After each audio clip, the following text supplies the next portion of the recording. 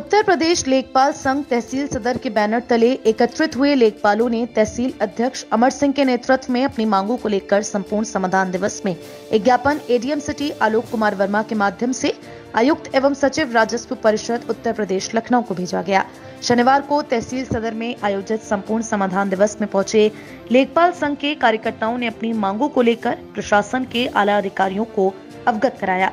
उत्तर प्रदेश लेखपाल संघ के तहसील अध्यक्ष अमर सिंह द्वारा अविलंब खसरे के फॉर्म प्रारूप प्रिंट आउट की मांग की गई तथा लेखपालों को उपलब्ध कराए जाने के कारण खसरा फीडिंग कार्य बंद करने एवं तहसील दिवस के अवसर पर ज्ञापन दिए जाने की मांग पर कहा गया कि हमारे प्रदेश अध्यक्ष के आह्वान पर ज्ञापन की कार्यवाही की जा रही है, जिसको लेकर आज तहसील दिवस के दौरान अधिकारियों को ज्ञापन देकर मांगों से अवगत कराया जा रहा है।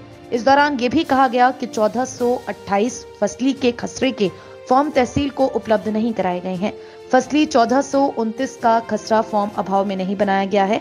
ऑनलाइन खसरा फीडिंग में फसली चौदह की फीडिंग, चौदह के खसरे के अनुसार लेखपालों द्वारा प्राइवेट कंप्यूटर ऑपरेटर को दस हज़ार से तीस हज़ार तक का भुगतान अपने वेतन से देकर कराई जा रही है।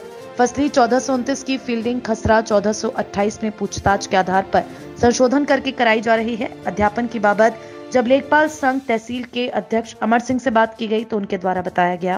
आपने ज्ञापन दिया था क्या मांग है आप लोगों की हमारे प्रदेश स्तर की जो संगठन है हमारा उत्तर प्रदेश लेखपाल संघ माननीय प्रदेश अध्यक्ष जी ने माननीय आयुक्त राजस्व परिषद को ज्ञापन दिया था कि चौदह फसली का जो खसरा हम लोगों ने ऑनलाइन फ़ीड कराया है उसका हमको हार्ड कॉपी का प्रिंट दिया जाए। उसके मिलने के बाद ही हम 1430 फसली की ऑनलाइन फीडिंग करेंगे।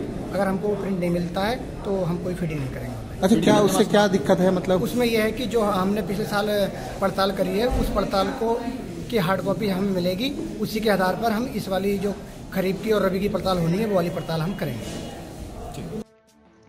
इस मौके पर हाजी अजहर इरफान हिमाचल भारती पंकज ह्यांकी तहसीब आलम राहुल सिंह विवेक गुप्ता तुषार चौधरी पंकज सिंह संजीव शेरावत आदि भी मौजूद रहे।